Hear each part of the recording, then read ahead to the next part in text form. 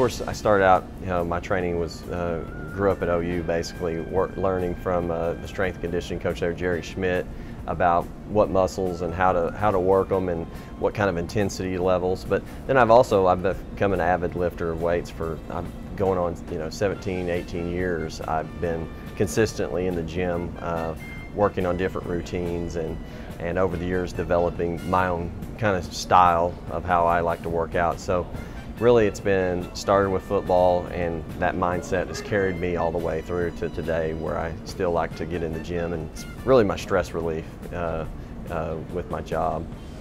You know, I'm mainly a, a, free weights guy. I like to lift, uh, lift weights on a daily basis.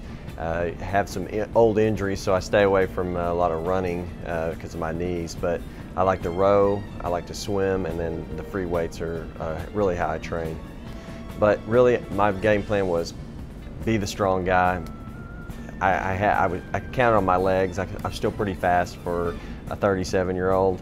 So I felt confident in my leg strength and my, and my ability to run through these challenges. So really it was just go in kind of a big guy and hopefully people would cling to me and keep me around.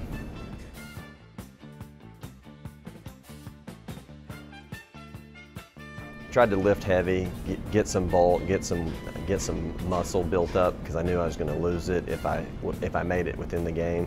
So that was my goal was just to bulk up. Um, I I didn't have a real good diet, but I, I tried to put on actual fat, but and bulk up and and that way I would have something to lose if I made it long in the game. You can bulk up pretty easily. You just got to eat a lot of calories. You can uh, lifting heavy, uh, really just putting on muscle mass, but if you don't watch your diet, you can put on weight real easy at 37. So, uh, so and it wasn't hard. I just shoveled in lots of hamburgers and food, and I just went away from the vanity side and said, you know, let's pack on some extra pounds so that I can uh, uh, make it far in the game.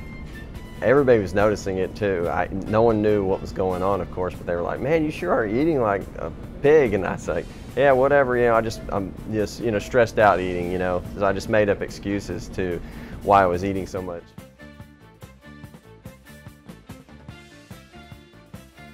My maxes, I mean, I used to care about that stuff, but I had shoulder surgery about a year and a half ago and I quit carrying a little bit more. There's no reason to be uh, lifting 400 and something pounds anymore. It was, it was actually really ridiculous. So I've backed off of that since shoulder surgery and I kind of keep it low key, just intense workout, uh, less rest time in between sets.